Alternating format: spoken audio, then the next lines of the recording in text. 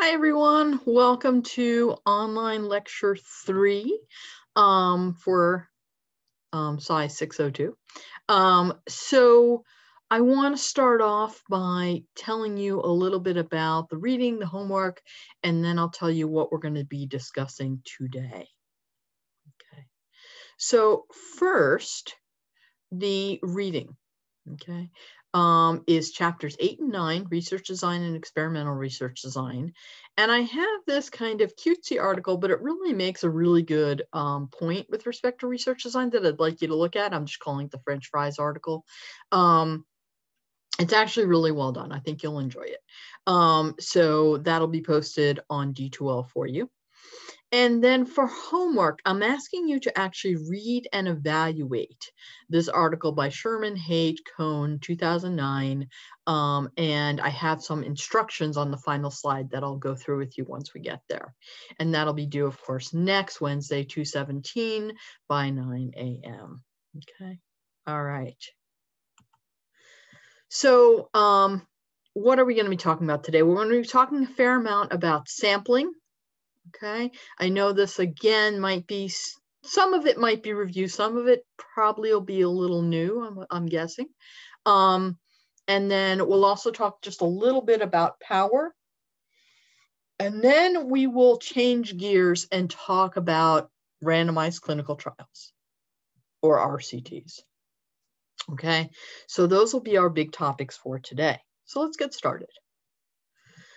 Sampling, as you know, is the process of selecting units from a population of interest.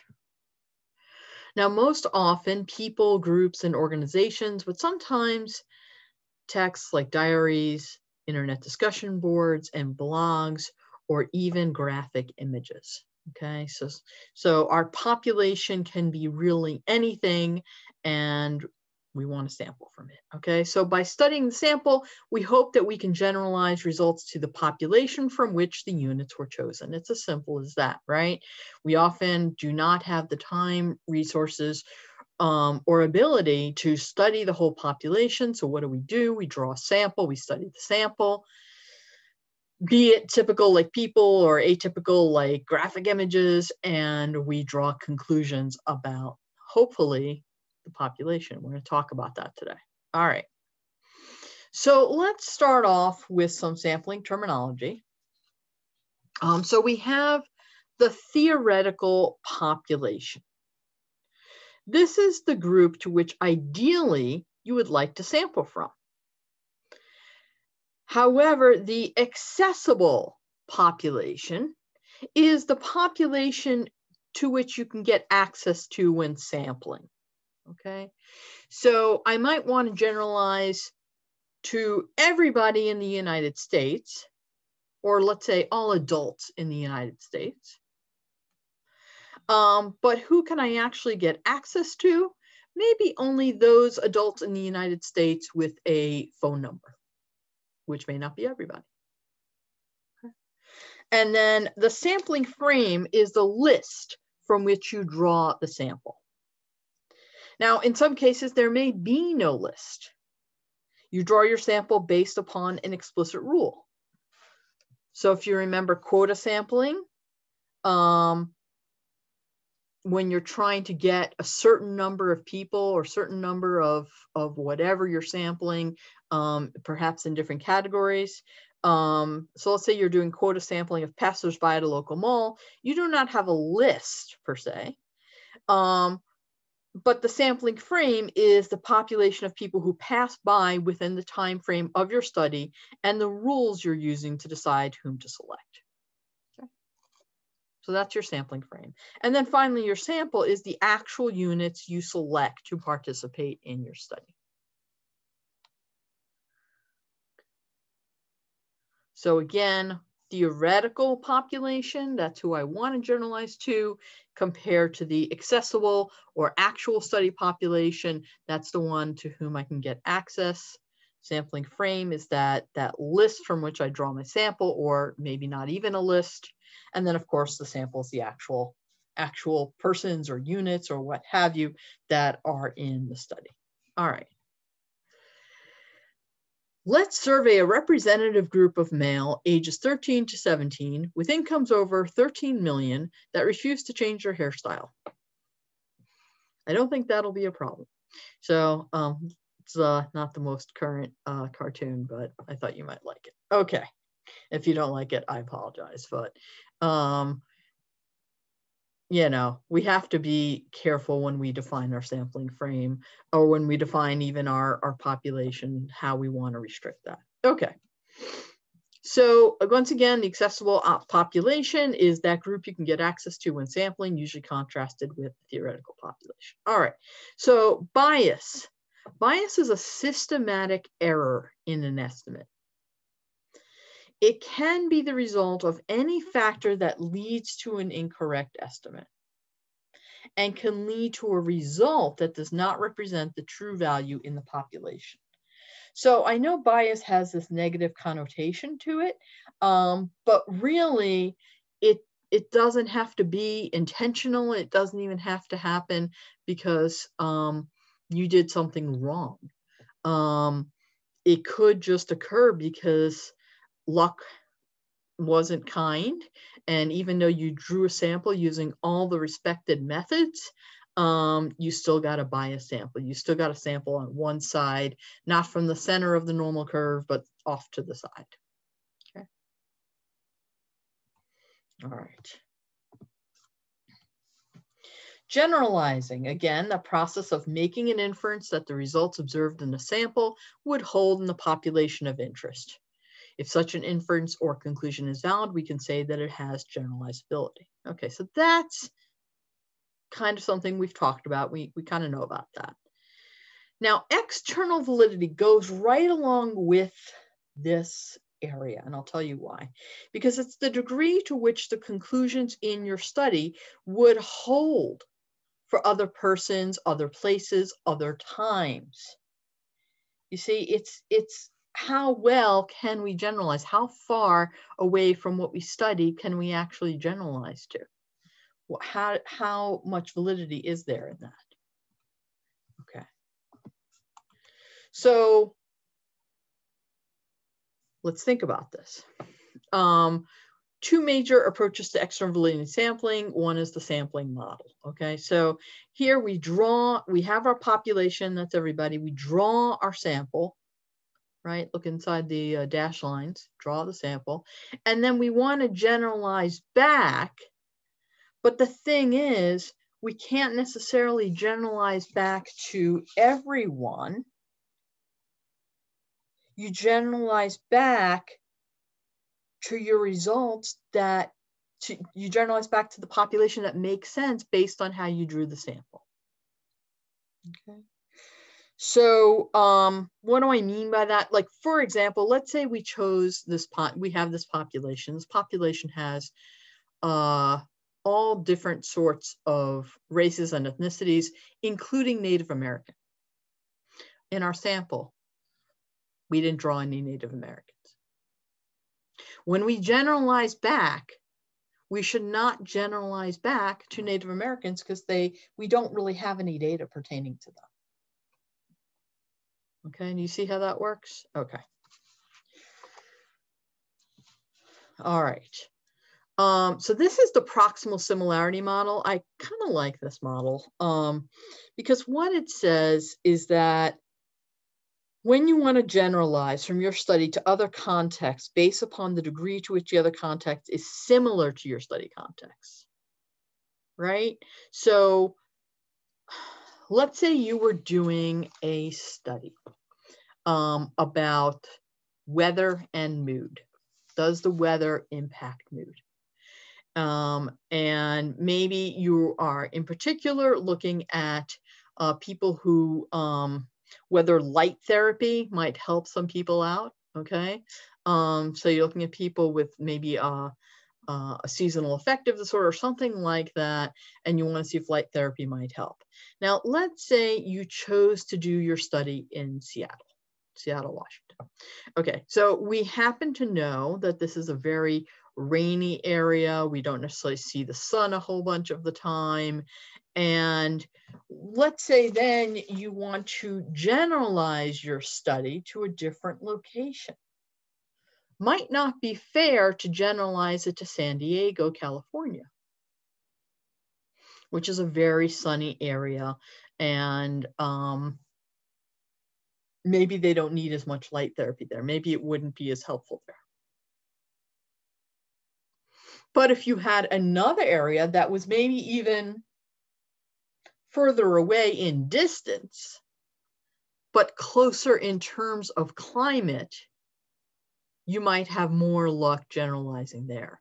So when you think of this, this gradient of similarity, which is the dimension along which your study context being related to other potential contexts in which you hope to generalize, think about what's important there. So when I want to generalize to other places, to other settings, to other times, to other people, what's close by, what's pretty similar, and what's pretty distant, and what makes sense to generalize to and what doesn't. Okay. Okay, so here we are back to some familiar topics, non-probability sampling, sampling that does not involve random selection, and probability sampling, sampling that does involve random selection. Now, you notice I've talked about random selection and I've talked about external validity. Those two are very attached. Uh, typically, random selection, if you can involve that in your study, tends to help out your external validity. Um, so that's something to keep in mind.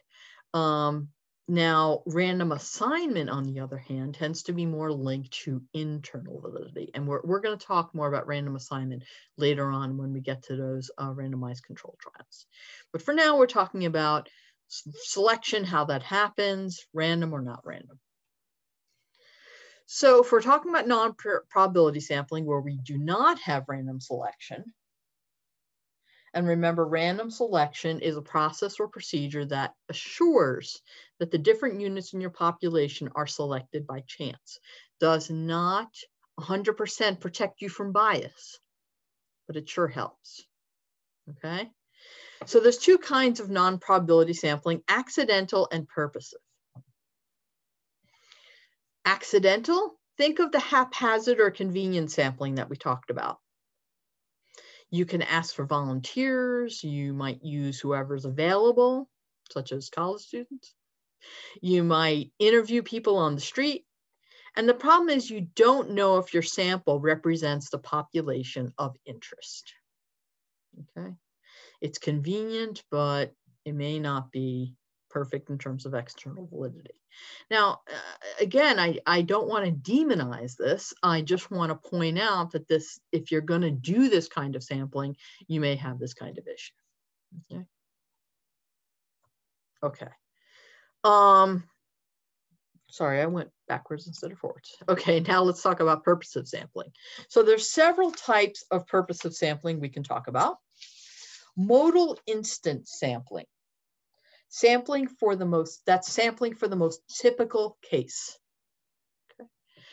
Expert sampling is when you want to get a sample of people with known or demonstrable experience and expertise in some area.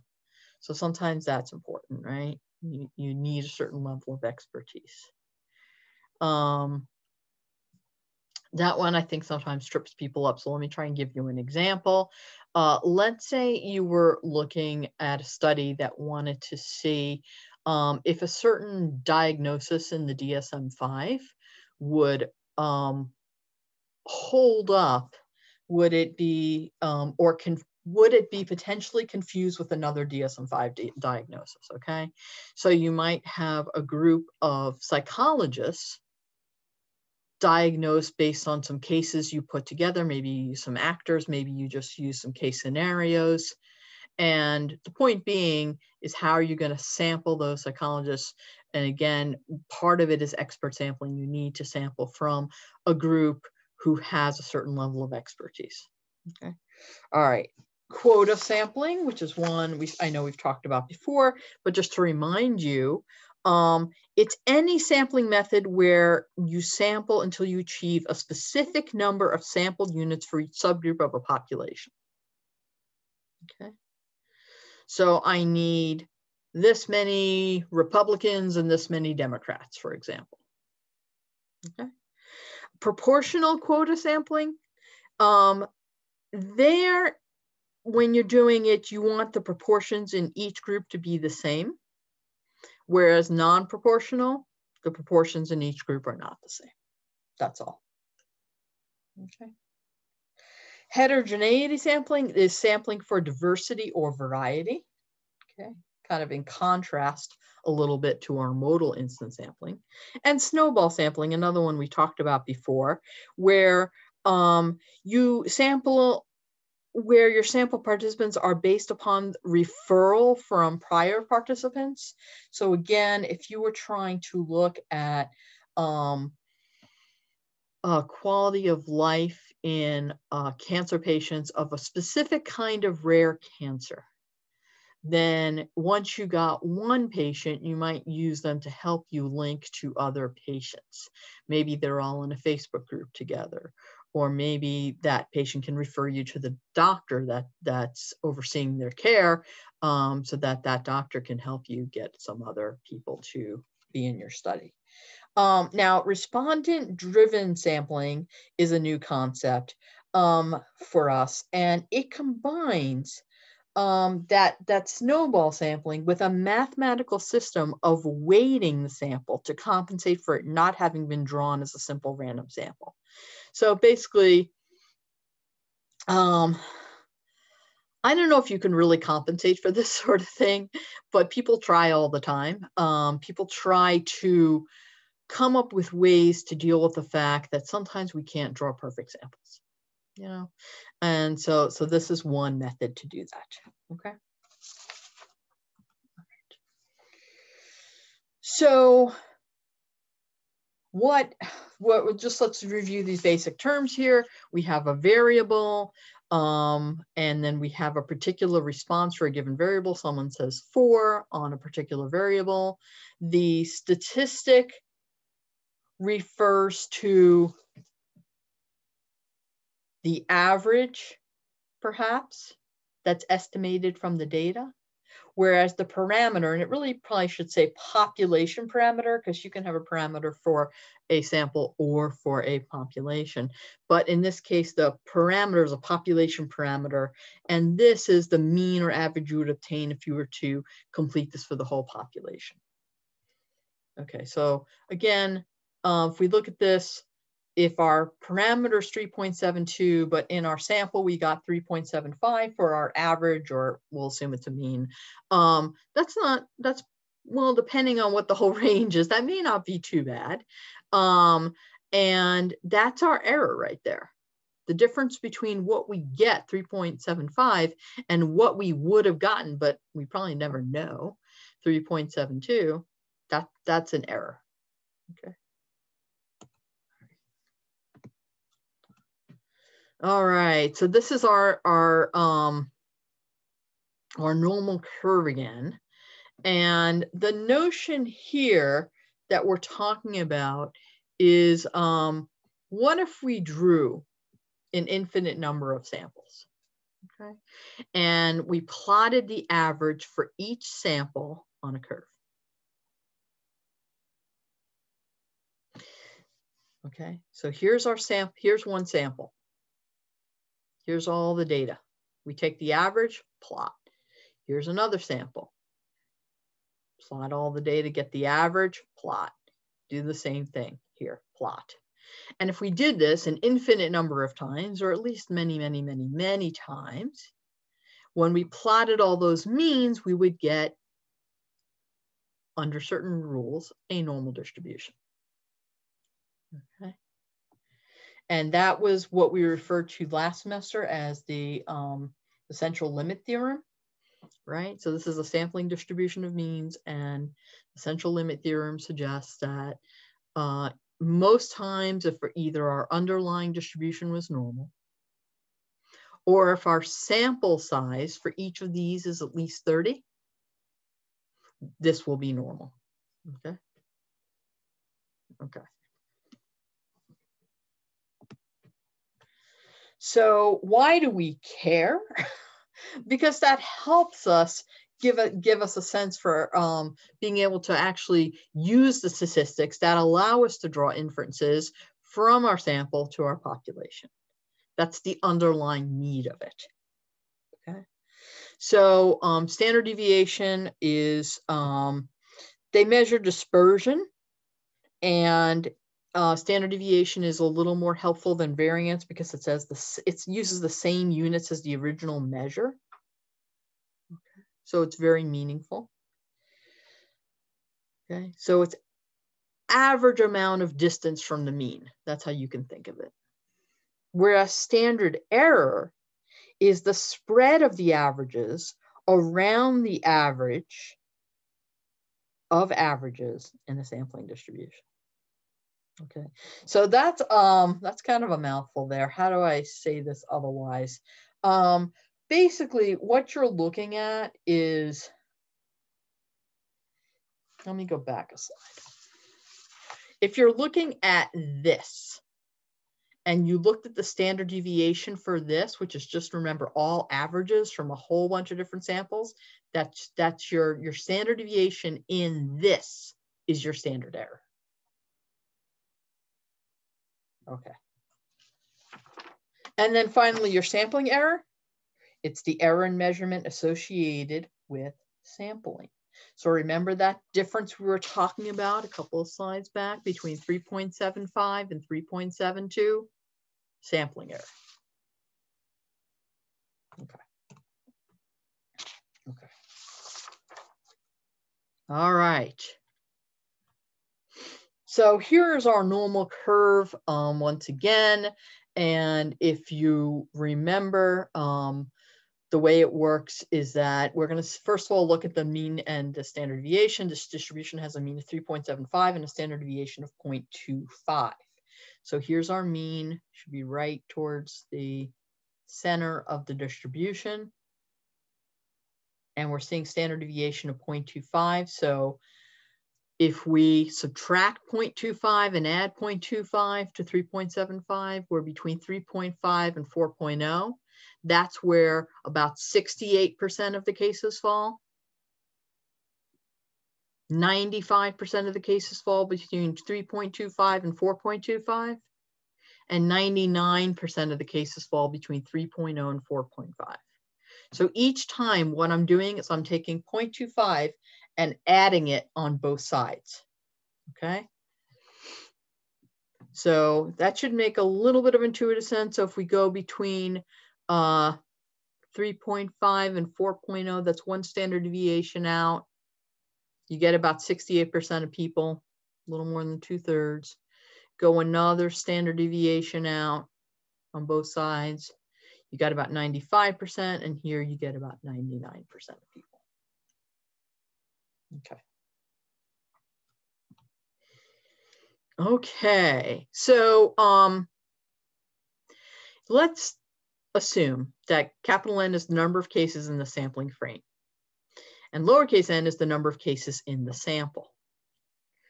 Well, there's a whole bunch of different ways you might have chosen your sample from your sampling frame right?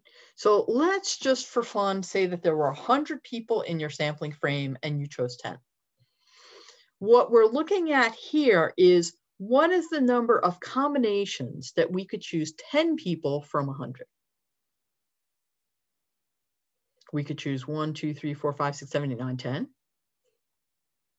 Right? It could just come out, even if we randomly do it, it could come out to be 1 to 10 it could be 1, 41, 51, 62, 73. You get my point, right? There's a whole bunch of different combinations or subsets of n, little n from big N.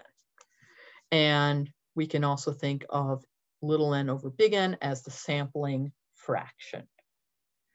Um, which is another say of another way of saying what percent did we sample? 10 over 100, 10% or 0.10.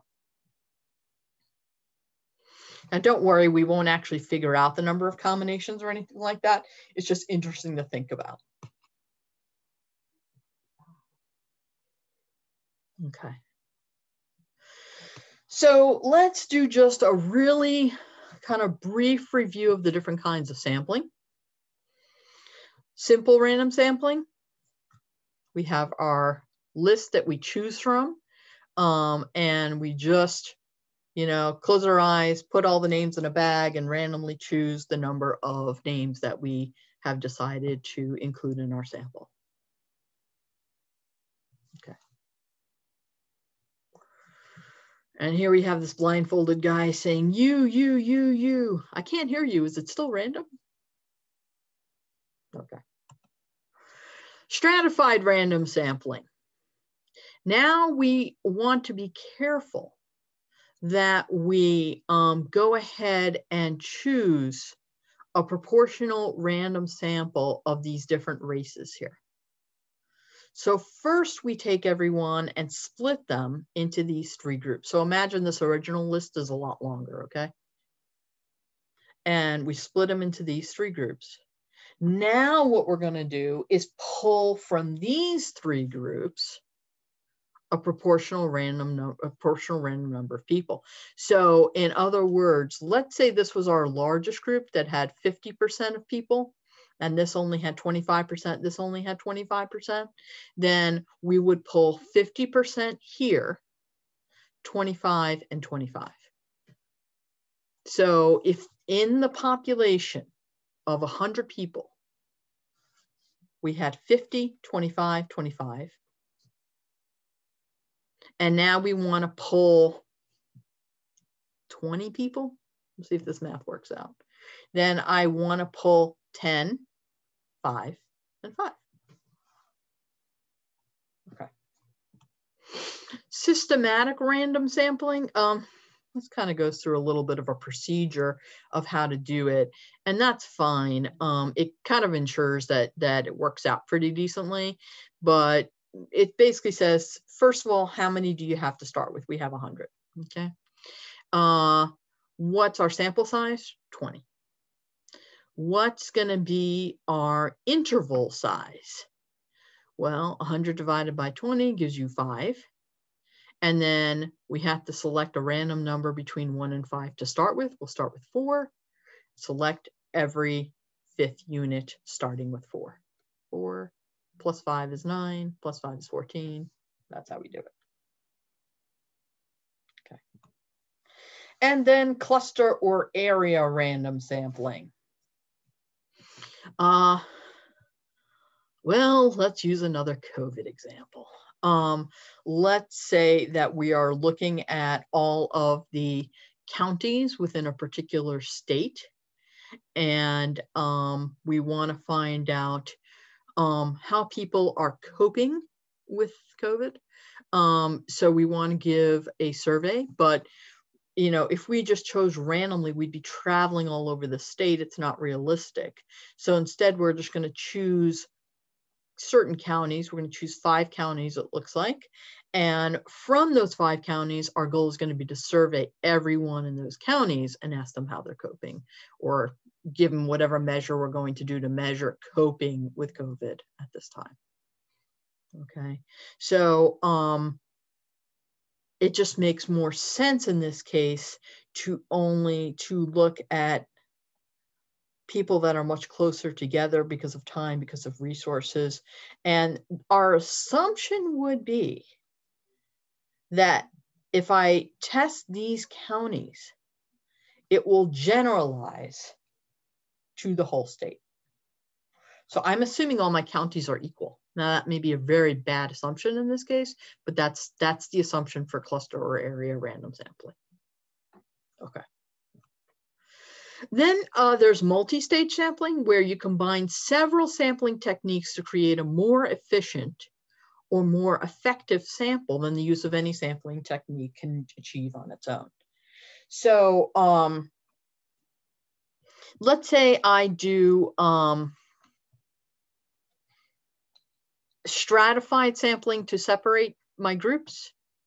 And then rather than following up with simple random sampling, maybe I do a systematic sample or something like that. It, it, it's basically, um, or I might do the simple sampling from there and then do a systematic after that. Or maybe I do my simple random sampling from my stratified. And then on top of that, then look at clusters where people are located within census blocks and do that.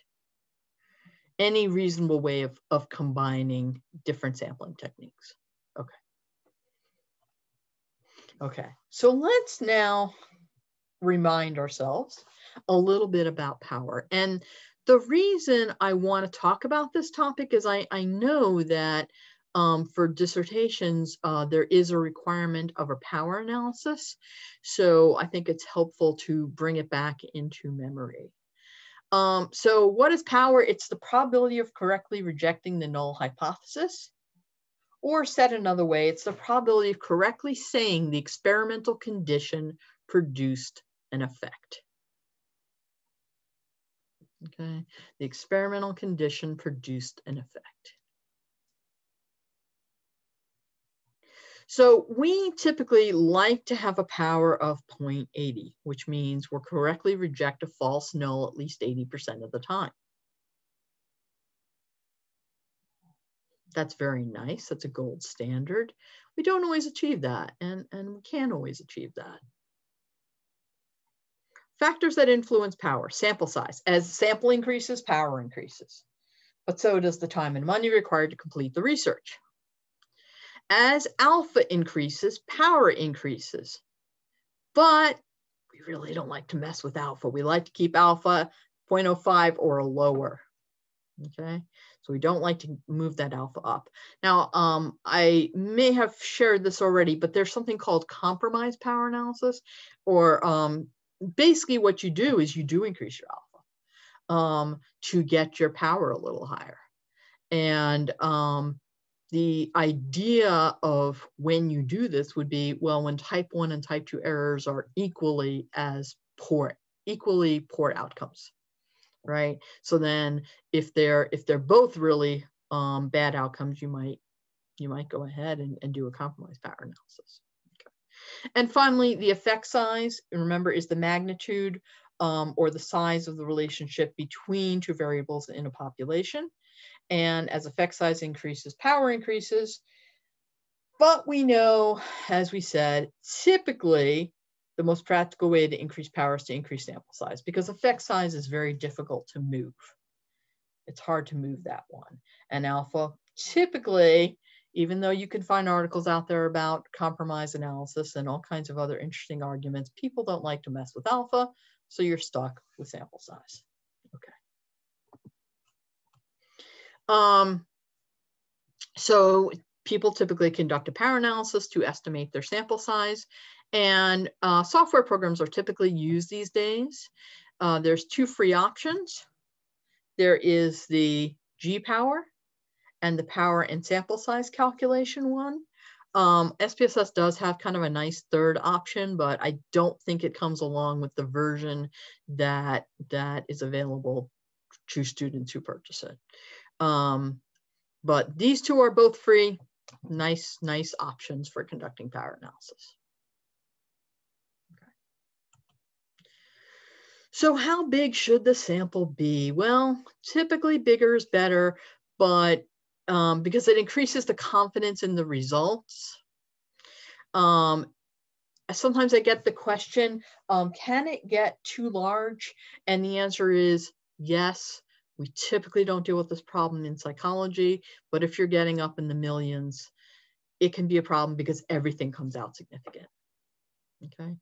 Um, so even though even though we like our sample sizes large, it has to be balanced with cost and time considerations, and we have to think about our sampling technique. Okay, the sample size and the sampling technique are connected. So we talked a little bit about threats to, about external validity. Let's just return to that real briefly and talk about some threats. Um, can the results be generalized to other people, places, and time periods? That's what you're always thinking about. Remember, random selection will help your external validity. Okay. So how do you improve this external validity since those are some threats? You can do a good job of drawing a sample from a population by using random selection. You can use proximal similarity effectively, like we were talking about before, being just very thoughtful about who you can generalize to and who you can't. And replication, when a study is repeated with a different group of people in a different place at a different time, the results and the results of the study are similar external validity is increased, right? So if you run your same light therapy experiment in San Diego, California, and you find very, very similar results, wow, that really helps your external validity. So we definitely, in our field, like to rely on replication. All right, so now I'm just gonna pause for a second and then come back and talk about randomized clinical trials. All right, I'm back. Let's continue our discussion, except let's turn now to randomized clinical trials. Um, I just want to point out that I'm using a particular um, slide set here that um, I had obtained that I think is, it's freely available and it, it is really um, nice for this purpose of talking through randomized clinical trials. Okay, so um,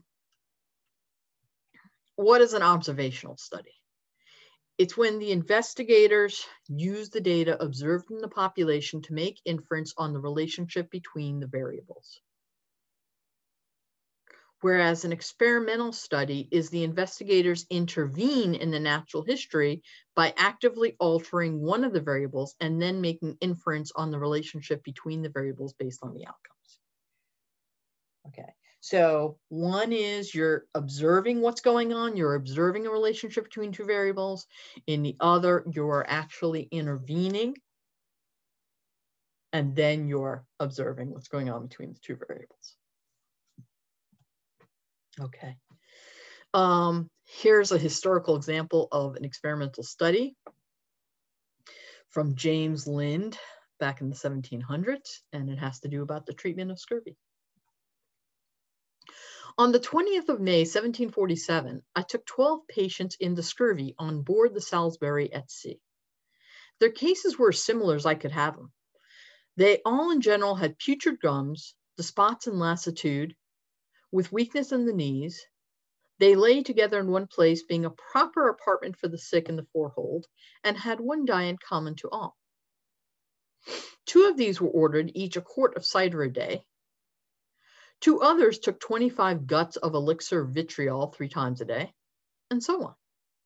They continued but six days under this course, and the consequence was that the most sudden visible good effects were perceived from the use of oranges and lemons. One of those who had taken them being at the end of six days fit for duty.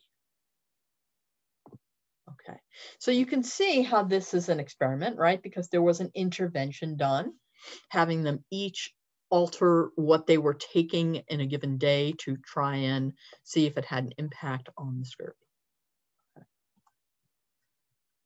So what might comparison groups in an experimental study be? It could be therapy versus no therapy, therapy A versus therapy B, therapy versus placebo, or sham. So placebo, I'm guessing, is relatively familiar, right? Like the idea of um, giving uh, something that may have no effect on the results, such as a sugar pill or something like that. Sham often occurs more in surgeries.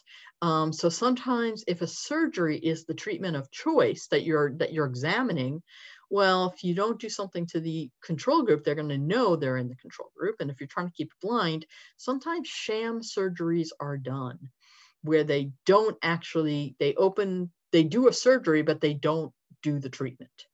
Um, so that's something that's an interesting idea, and that is sometimes done.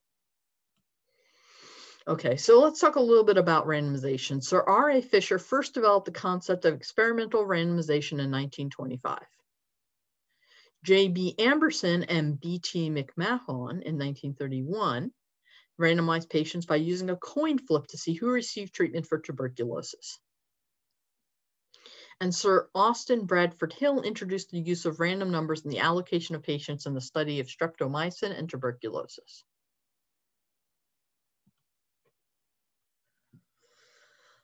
The 24 tuberculosis patients were then divided into two approximately comparable groups of 12 each. The cases were individually matched one with another in making this division.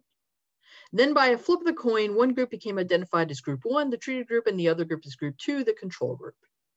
The members of the separate groups were known only to the nurse in charge of the ward and to two of us. The patients themselves were not aware of any distinctions in the treatment administered. Okay, this is Amberson.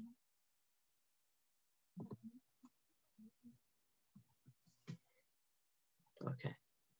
Randomization. Randomization is the process by which allocation of subjects to treatment groups is done by chance, without the ability to predict who is in what group.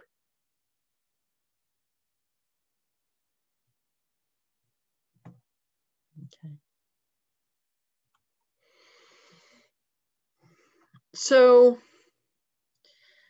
um, what you want to do basically with random assignment is ensure that every member has an equal chance of being assigned to any group when you actually equate groups of participants, you're not eliminating extraneous variables, you're randomly distributing them across the groups. At least that's what you hope you're doing. Again, this is a probability exercise.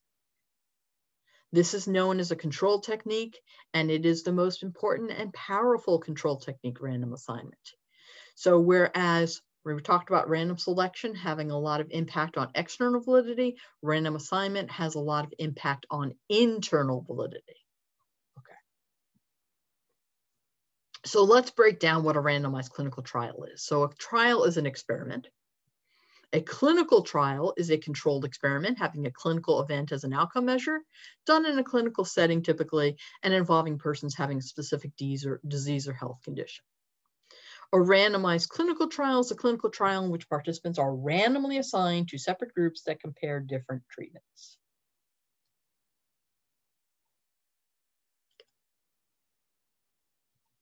All right. So let's take um, a look at how we might design a randomized clinical trial. We start off with our defined population. We randomize, some get the new treatment, some get the current treatment, and we see how many improve and do not improve in each group.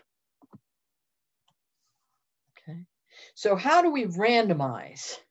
Well, um, I'll show you a little bit more on the next page, but this is what a table of random numbers might look like. Okay, let me show you a little more on this next slide. Okay, so here's how you might do it. Let's say we're going to use a one digit random number. And if two treatment groups are being studied, maybe we'll do if the first digit is zero to four, then we go to treatment A. If the digit is five to nine, they go to treatment B. And you could see B for six, A for one, A for one, A for four, B for seven, et cetera, et cetera.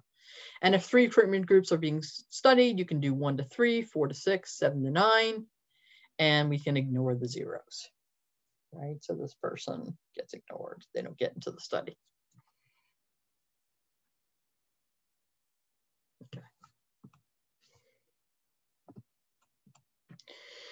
Um, so other sources of random numbers other than random number tables, and I, I don't really use random number tables. They're okay, but they're, you know, they're um, they're more um, uh, common ways of doing this these days, such as computers or calculators, pseudo-random numbers that are based on a mathematical formula or predetermined list, or what's even better are random numbered websites such as random.org. These are true random numbers based on true randomness, entropy outside of the computer, such as time to radioactive decay or atmospheric noise from radio. Um, so bottom line, if you need to do a random number scheme, I would suggest using random.org. It has a lot of free options in there that you can use to assign. Okay. Okay. Um, so what's the purpose of randomization? Well, you're trying to prevent bias in allocating subjects to treatment groups. And you're also trying to achieve comparability between the groups, but there's no guarantee. And we'll talk more about this and how maybe you can help there be more of a guarantee. Okay. Now, randomized trials are considered a gold standard of study design because the potential for bias, hopefully, is avoided. Right? At least the main variable on which you're separating is avoided, but you know, you, you could wind up um, having things that aren't as random, uh, aren't as equal as you might hope across your groups. Okay. So let's look at a non-randomized observational study. A comparative study of an intervention in two groups of patients with myocardial infarction shows that the mortality between the two groups differs. Okay.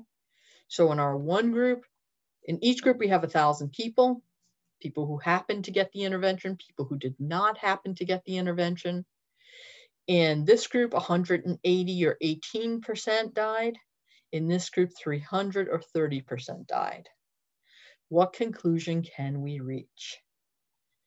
Well, the intervention might have been helpful, but it could be that those who could get their hands on the intervention or those who volunteered for the intervention or what have you might also might also um, be those who were following other regimens to help them out, to help their health, right? So maybe these people also changed their diet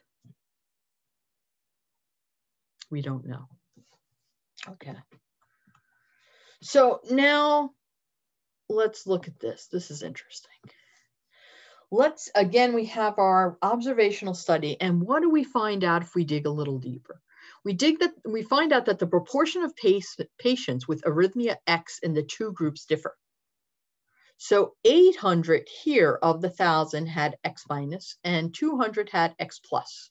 Whereas here in the no intervention group, it was 500 and 500. So if we look at the percentages who die, 10% of the 800 or 80 pass, 50% of the 200 or 100 pass, 10%, 50%. These are the same. So really, the intervention had nothing to do with it. It was all about arrhythmia X. Now, if, on the other hand, we do a randomized control trial where we randomly split people into our intervention and no intervention groups, the arrhythmia X minus and X plus are likely to be similar across the groups. And then we see if they are, there's no effect of the intervention. But I just want to point out that I say likely, not guaranteed, just likely to be similar. In fact, proportions of patients with arrhythmia X in the two groups may differ. The similarity is not guaranteed. The similarity is not guaranteed.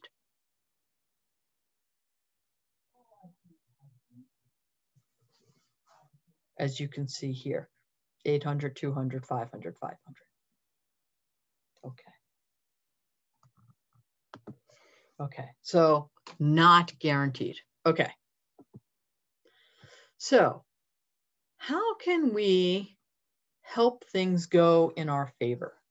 We can use something called matching, which are techniques to equate participants in the treatment groups on a specific variable, like arrhythmia X would be a perfect example, right? We could choose, to, if we thought arrhythmia X was such an important factor here, we might choose to equate our groups on arrhythmia X. We might also choose to equate our groups on intelligence, on age, on gender, what have you. And it controls for the variables on which participants are matched. Now, it doesn't control for any other variables, just on the ones on which they are matched. So what are some matching techniques. You can hold the variables constant, right?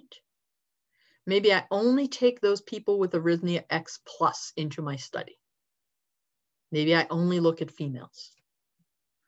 I can build the extraneous variable into the research design using blocking. Okay, so what does that mean? Um, I make the extraneous variable another IV in the study. So as opposed to maybe running an ANOVA, I'm running an ANCOVA by including that, okay? Now here's one that's a little different. It's called a yoked control, and it matches participants on the basis of the temporal sequence of administering an event. So let me give you an example of this one, okay? So imagine that you want to see if among seven, uh, try that again, if among second grade students, choosing when they get their snack will positively impact academic performance. So I have two classrooms, each has 20 students. In classroom A, the 20 students will get to choose when they have their snack. In classroom B, they will not get to choose when they have their snack. And again, we'll measure the DV of academic performance later on. So now let's break this down. Let's say person one in classroom A chooses to have his snack at 10.30 a.m. What we're gonna do is we're gonna take one person in classroom B and say, you will have your snack at 10.30 a.m. Note that the person B did not get to choose when he or she had their snack, but they were assigned at 10.30 a.m. because someone in person, because the corresponding person that they were matched to in classroom A got their snack at 10.30. Let's just go through one more example. So again, person two chooses to have their snack at 2 p.m the corresponding person two in classroom B is assigned to have their snack at 2 p.m. That's a yoked control. And then there's matching by equating participants, individual matching, match case by case, then randomly assigned to groups. So I'm going to show you an example of that one. Okay. So here's an individual matching example we have these different people with these different IQs. We have Sarah, Jane, Donald, Debbie, Jake, Jody, Kathy, Brian. Okay, so lo and behold, Sarah has 110 and we have Brian with 110. So we take Sarah and Brian, we match them, and then we say, we randomly choose which one is treatment and which one's control. So Sarah became control, Brian became treatment. Then Jane has 95, Kathy has 95. We randomly assign those to the true groups and Jane gets treatment and Kathy gets control and so on and so forth. Now, isn't it lovely how these people all had a corresponding matching IQ right there? As you might imagine, if you were actually trying to do this, this might be a real challenge to individually match. Maybe you wouldn't match on an exact IQ, maybe you'd ma match on a range or something like that. But the more variables that you choose to individually match on, the harder it gets. So matching is great, but it can be challenging too, depending on your sample size. But we matched and now we are guaranteed that our treatment and control groups have similar IQs. Had we simply divided them, randomly assigned them to groups, it might have worked out this way, it might not have. It probably would have worked out pretty well, but no guarantee. Okay. Then there's stratified randomization, which is random assignment within groups defined by participant characteristics such as age or disease severity intended to ensure good balance of these factors across intervention groups. Let's take a look at how this works. Okay, so follow along with this. 1,000 patients, right? 600 males, 400 females. That's all we have in terms of our description here. Uh, and then for age, we are just going to divide into younger and older. Um, so we have 360 young, 240 old, and then for the females, 300 young and 100 old. So what we do is from each group down here, right? This is 360 young males. I take 180, put them into the treatment group and do it randomly, of course. Um, and 180 randomly go to the control group or current treatment group, excuse me. 240, I take 120, put them into the new treatment, 120 current treatment. I'm going to take split this group, 150 into the new treatment, 150 into the current treatment. And finally, my group of 100, 50 into the new treatment, 50 into the current treatment. Okay, that's stratified randomization. Okay, when you do data collection and documentation, you always want to take a look at what was the assigned treatment and what was the received treatment. And you might assume that those are always the same, but it's not. It's not necessarily, and we'll talk more about that. Um, outcomes, what were the beneficial, what were the adverse effects, what was their prognos prognostic profile of entry into the, into the trial, and um, what was the randomization procedure sequence. How did you generate the random allocation? How did you implement the random allocation? And who actually generated the allocation sequence, enrolled participants and assigned participants to groups. You want to just note all this um, to ensure that there was not any problem in the process. Okay, let's talk a little bit about masking or blinding. Masking or blinding is used to increase the objectivity of the persons dealing with the randomized study to prevent prejudice. So you can blind the participants, of course, but you can also blind people who are giving the treatment, the data collectors, the data analysts, the investigators. So you can do any level of blinding uh, really that you wish. So you can have a non-blinded study or a single blinded, maybe just the participants are blinded. A double-blinded study where the participants are blinded as well as the, the people giving the treatment. Or maybe even a triple-blinded study where the participants, the treaters, and the data analysts are all blind. Okay. So placebo, as you know, is a medical treatment that is administered as if it were therapy but has no therapeutic value. Um, whereas a nocebo is a treatment like a placebo, but actually has a harmful result. Um, I, I, don't think that term is nearly as common as the placebo, but it's good to know. Okay. So let's talk about placebo and blinding.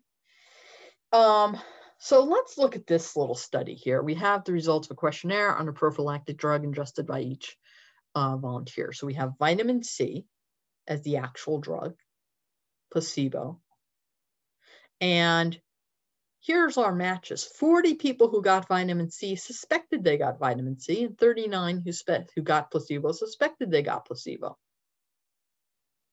12 who got vitamin C thought they got placebo, and 11 who got vitamin C thought they got, who got placebo thought they got vitamin C, excuse me.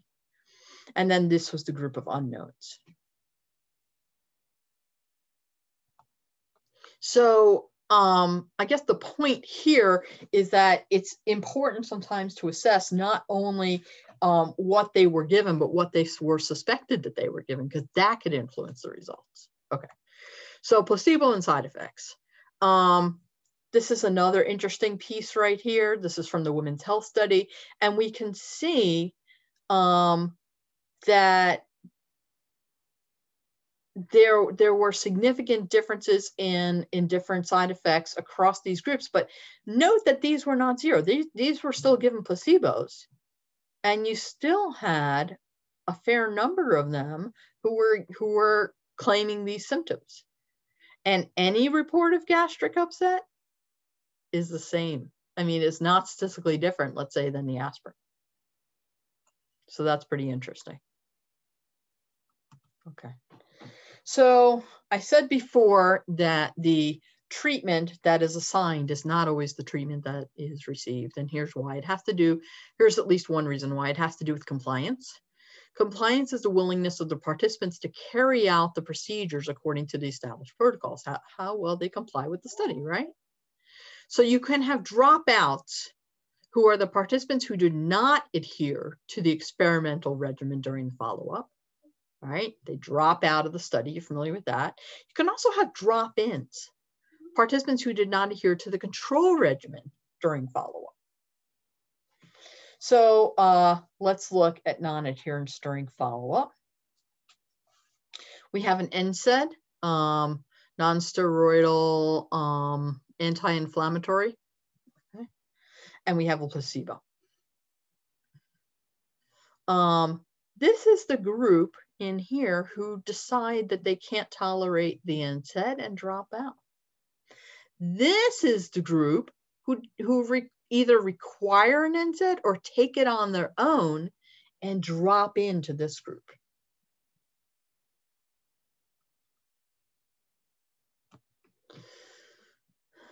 So how are you going to deal with this in data analysis? That's kind of an interesting question. Um, you can look at intention to treat. You can analyze according to the original allocation. And you're basically trying to understand based on the original allocation what, what seemed to be going on. You can look at the actual treatment received based on the observed data. Okay. Um, and the problem with that, of course, is that you've lost the benefit of randomization.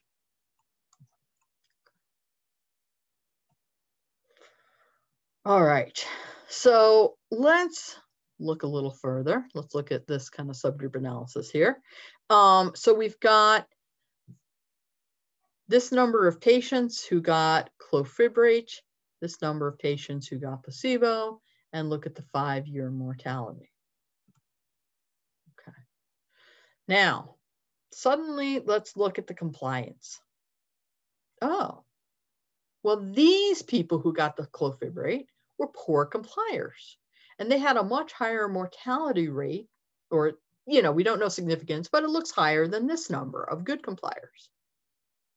So maybe those who actually were good compliers did better than the placebo. Hmm, let's look further. Now we're going to break out the placebo into poor compliers and good compliers, right? So a poor complier on the placebo probably went ahead and got the clofibrate. Good complier stayed on their placebo. And if we look at it this way, what do you notice? It seems like the mortality had more to do with compliance than anything else at least if we just look at this data. Okay. So how do you deal with noncompliance? It's a toughie, uh, and it depends on your kind of study. It, it can be super tough. You can monitor compliance by observing the treatment directly. You can count pills. You can conduct blood or urine tests to confirm compliance. And another cool technique is the use of what's called a run-in period. Let's talk about the run-in period a little bit. Okay, so this is a um, the physician's health study. So there were 33,223 willing and eligible physicians who were enrolled in a run-in phase during which all received active aspirin and placebo beta carotene. After 18 weeks, participants were sent a questionnaire asking about their health status, side effects, compliance, and willingness to continue in the trial. A total of 11,152, right, so about a third, changed their minds, reported a reason for exclusion, or did not reliably take the study pills. The remaining 22,071 physicians were then randomly assigned. I'm trying to decide if I, if this study is familiar to you or not, um, but there is actually a big problem in the study. Um, it'll come up in a later slide, but you can kind of think about it in the meantime. What might have been a problem when they were looking at these 22,071 physicians. And this was a few decades, uh, at least, at least four or five decades back, maybe more. Okay, do you know any about any RCTs to provide evidence that we should use RCTs? Um, now, I only mention this, I only offer this little cartoon slide to kind of poke fun just a little bit at RCTs. They are very good, um, but they're not the only game in town. And so uh, if you're not doing an RCT, I think you, you need not feel bad about that. Um, they have a lot of nice features to them, but they don't work for everything. Okay. Okay, so now let's talk about some randomized trial study designs. Let's consider a parallel treatment or simple non-crossover, a planned crossover, an unplanned crossover, and a factorial. Okay, so here's our good old parallel treatment. We have our study population, we randomize, we choose our, our sample and we randomize to, to A, to B, and we look at outcomes. For example, the hypertension detection and follow-up program, we have an elevated DBP, successfully randomized, um, close to 11,000, into step care and referred care. And we look at mortality rates later on, five years later. Okay. Um, and here's some interesting results of this. We see the percent mortality reduction in our stepped care group being particularly high uh, when the diastolic blood pressure is lower than when it's higher, but still looks interesting, looks something worth looking into a bit more, right? Okay. Maybe stepped care is helpful. All right. So now I want you to look at this planned crossover trial. So here's the way this works. There's a new treatment and a current treatment. We assign people to group one and group two. We observe them.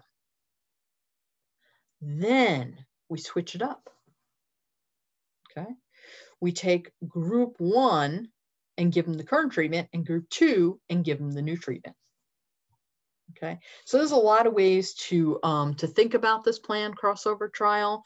Um, sometimes it's done a little differently, and we have what's called a waitlist control, where um, only one of these groups have moved. So the waitlist control would be when group two, after they've gone through most of the phases of the trial, would be moved over to the new treatment, especially if it was deemed effective.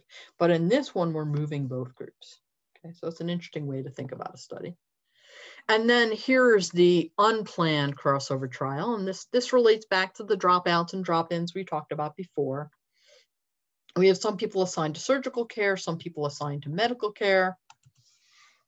And then we have within the surgical care group, those who are randomly assigned, we have some who refuse surgery. And so drop over to the no surgery or medical care group. They drop out. These people require surgery and they drop in to surgery. So the refuse surgery drop out, the require surgery drop in.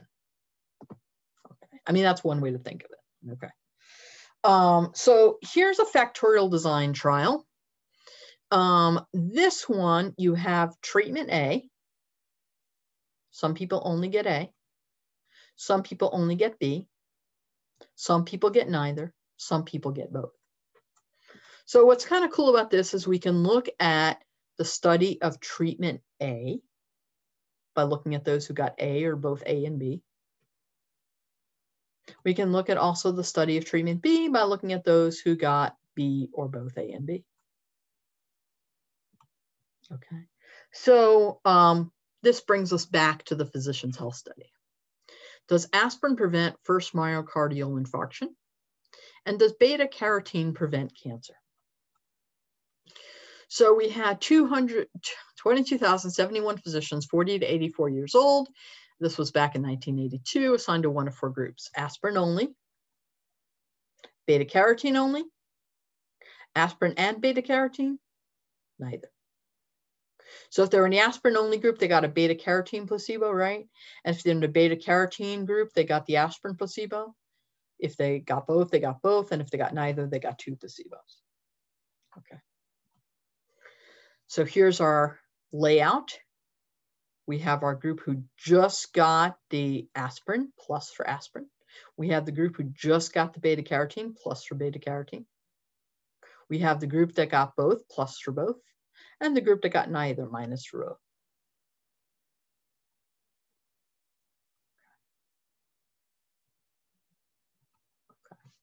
Randomized aspirin component terminated early on January 25, 1988 with a positive effect of 44% reduction in risk of myocardial infarction. So um, the reason they ended the study is because it was so effective. So they, they wanted to let everyone know to start taking your aspirin. Now, the beta carotene component continued as scheduled and terminated in December 31st, 1995, and produced neither benefit nor harm for cancer. Have you figured out the problem yet? 1982, all physician study. There's probably a number of problems, but we'll talk about it in a minute. Okay, so efficacy is the reduction in risk. Efficacy is the, you can calculate it by getting the rate in the placebo minus the rate in the treated over the rate in the placebo. Or one minus rate in treated over rate in placebo. Okay. All right.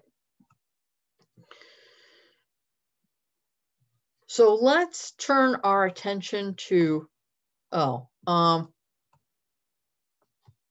I think we're going to come back one more time to the study, but just in case we don't, um, I'll tell you what the problem is. It was all males. All the physicians were males.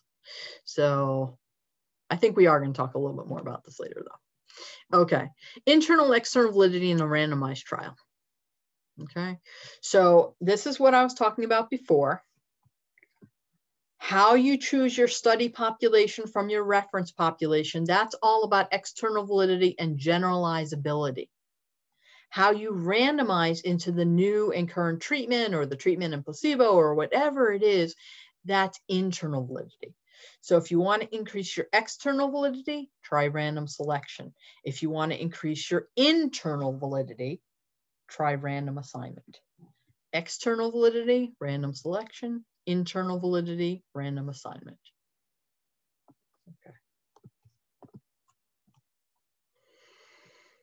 Oh, so here we go. We are back to the study. Okay, so external validity, generalizability from the physician's health study. Aspirin reduced the risk of myocardial infarction, reduction risk of 44% in men 50 years or older who did not have clinical evidence of coronary disease.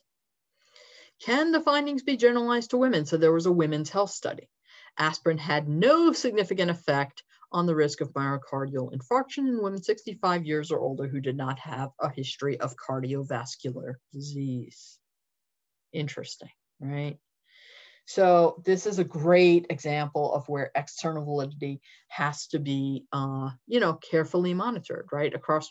So we took this wonderful study of 22,000 people. We would love to be able to generalize it out to different groups of people.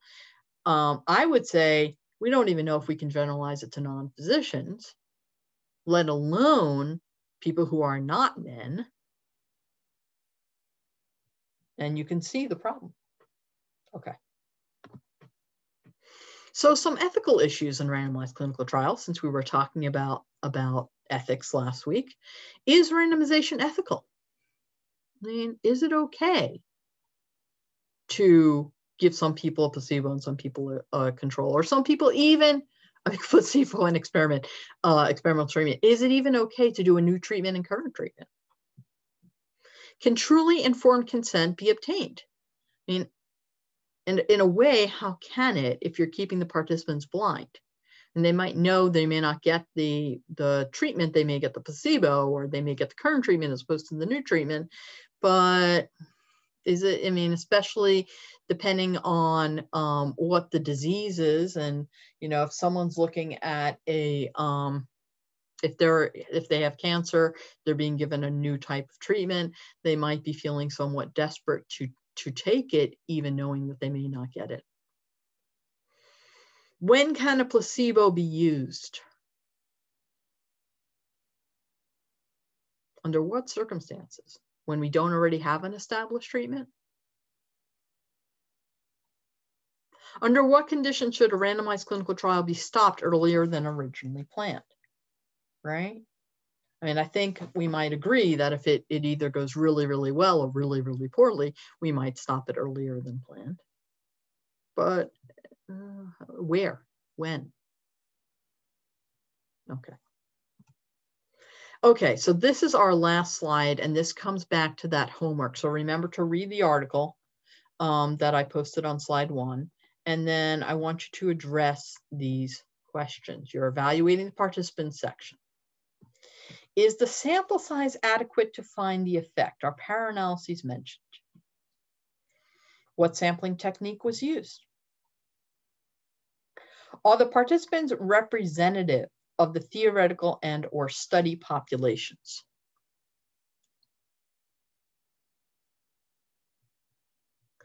Were, where were the participants obtained from and are they a bias sample? If, it's, if this is an experimental design, was true random assignment done? Using a random number generator or something else that would give you true random assignment? Are there equal number of males and females? And are there a range of socioeconomic strata and ethnicities? Stuff to think about and explore as you read through the participant section of that article, okay? Um, so in terms of the rest of the article, in case you're wondering, um, it, it, might be useful to look at some of the other parts to help you out with this, um, but it's primarily the participant section that you're looking at, okay? Okay. All right, that is all I have for you for now. So stay safe, be well, and I'll see you soon.